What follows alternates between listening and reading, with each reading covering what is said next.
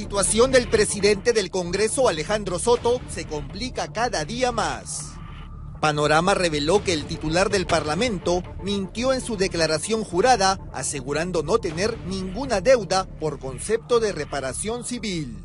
Sin embargo, el congresista de Alianza para el Progreso tenía una condena por el delito de difamación y la Sala Penal de Apelaciones de Cusco le impuso el pago de una reparación civil de 10 mil soles.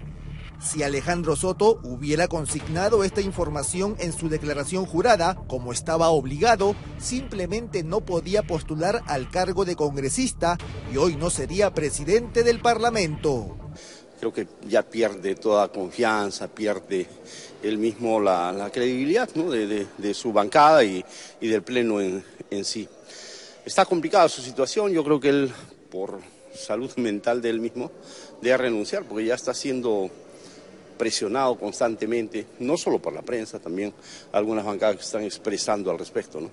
La mencionada reparación civil recién fue pagada luego de que Soto Reyes fue electo, cuando ya no había marcha atrás en su elección como parlamentario del Cusco.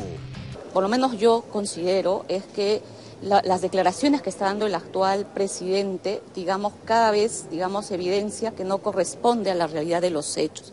Entonces creo que aquí eh, corresponde de manera clara que su bancada tome una decisión más enfática si es sostenible o no que su permanencia en el cargo. Hay una evidente falta ética, claramente, al haber, digamos, no informado de manera oportuna este, una información que estaba obligado a dar, que era un pago de una reparación civil. Por otro lado, según el diario La República, Alejandro Soto compró una casa en el Cusco en el año 2015 por el monto de 252 mil dólares. Lo llamativo es que no existe registro de alguna hipoteca con la que se haya financiado la compra de este inmueble. ¿De dónde sacó el dinero el presidente del Congreso?